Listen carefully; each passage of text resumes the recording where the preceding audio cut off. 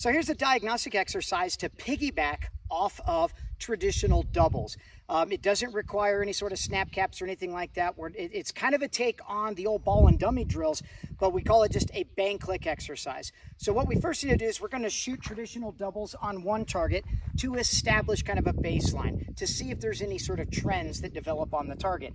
Then we're going to then set up on another target and do a bang click exercise. And I'll kind of explain to you what we're looking for. And you, I'm sure you'll be able to see it as I kind of move the camera a little closer to the gun. And you'll be able to see kind of almost in, in quiet time what happens when we're actually actuating the trigger but not but we're, we're getting too emotionally attached to recoil when we're getting ready to press that trigger. Some would call that the flinch or anticipation. What I call it is it's just emotional attachment to what's going on before we've actually fired the gun. So we're mistiming the shot or we're mistiming trying to, to press against or push against or pull against recoil. We don't want to have any of that. Once we want to establish our grip, we want to keep our grip as maintained as possible and as consistent as we can then work the trigger independently of that grip. We don't want to add more grip when we're trying to go faster. We don't want to take away grip when we're trying to go more careful or more deliberate. So let me show you what we got here. We're going to do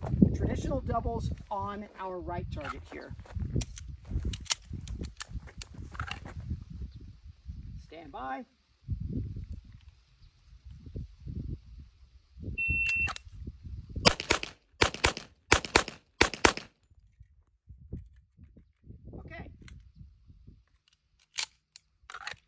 So, on our traditional doubles, everything is well within the A zone. However, we've got four of the eight shots right around the spot of the dot where I was looking at. And we've got a couple of errant shots, four other errant shots that are second shots where I may have been adding more pressure with my entire firing hand or possibly taking away support hand pressure with my support hand when I was firing that second shot that caused some errancy in a couple of those shots. So now we're going to, on this fresh target, we're going to do a bang click exercise. And in order to do this, you just need a full magazine. Let me set the camera back up here.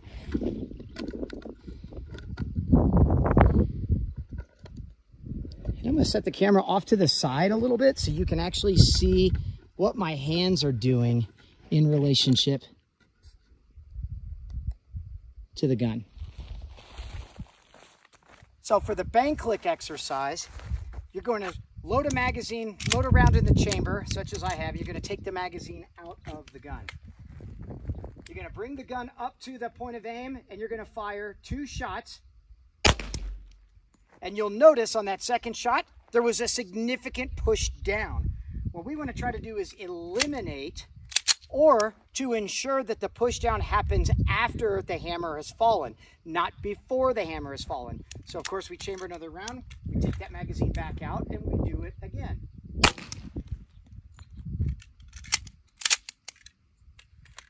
Set it back up.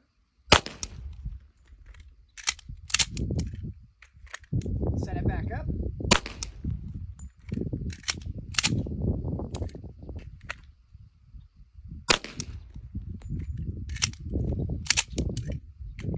Little time consuming, but it doesn't require. There we go.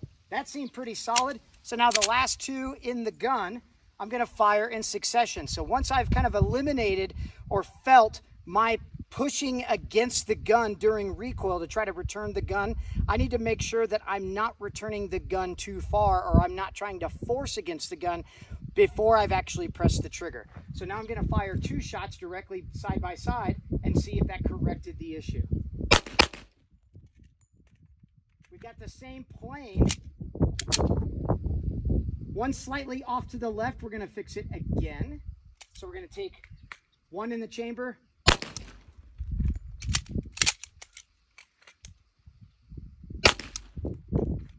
pretty good. So now we're going to follow it up. That looks great.